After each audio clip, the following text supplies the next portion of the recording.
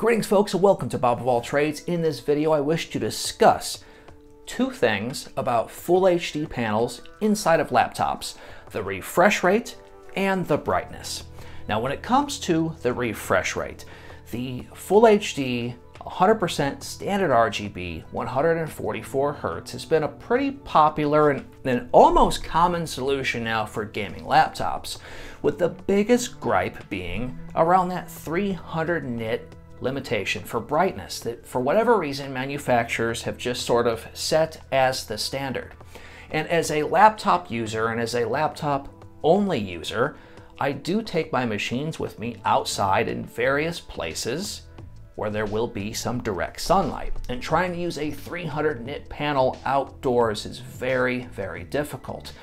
When I do need to travel in that regard, I honestly prefer to take the OLED panel with me and I just run it at 1080p, but it does push near 400 nits, making it a lot easier to see outdoors and I'm not caught off guard with wherever I may be. I can still use the laptop in almost every circumstance. However, the OLED does have a glossier display, which indeed definitely, well, makes it a little bit harder to see, especially in direct sunlight. So that's a bit of a bummer.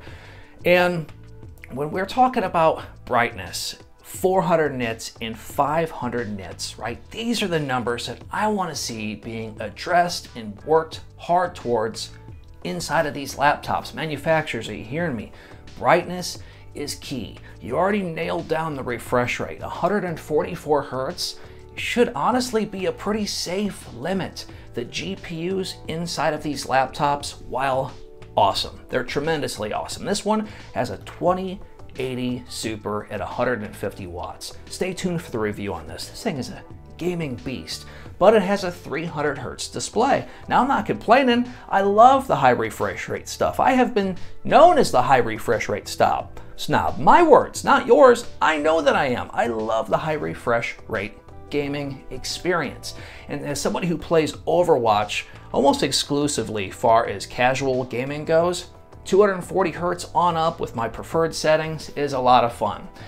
And I really notice it when I move back to 144 hertz as the animations are not quite as smooth, but my trained eye is just that. I have been gaming with high refresh rate solutions ever since that was an option on desktops a long time ago.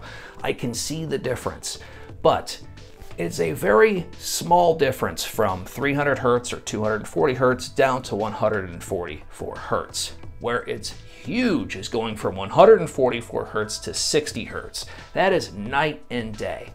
So what if I told you the following?